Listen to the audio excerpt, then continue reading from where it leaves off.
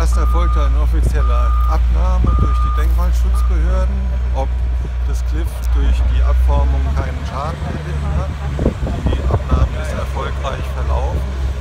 Dann wurde, um das Cliff vor äh, Humussäuren zu schützen, eine Folie über das Cliff gezogen und im Moment wird es gerade mit Sand vollkommen abgedeckt. Also seit es gefunden worden ist, war es zum ersten Mal überhaupt in der Region hier am Becken Oberrheingraben, dass mal die Küste freigelegt worden ist.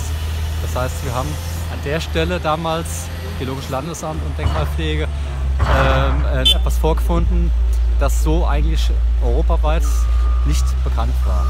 Wir hatten damals eigentlich durch diese ganzen ja, vorhandenen Sachen hier am Cliff, wie die Kolke, wie dieser kleine Hohlweg da reingeht, wie irgendwelche anderen Strömungsmarken, die hier sichtbar sind, etwas gab, das sonst nur in der Bretagne heutzutage noch da ist, aber fossil überhaupt nicht bekannt war in der Form.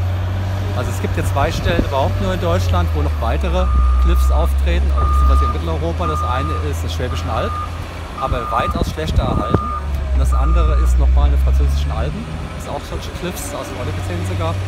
Aber hier zum ersten Mal etwas, das aussah, als hätte man live die Wellen vom Meer noch vor sich.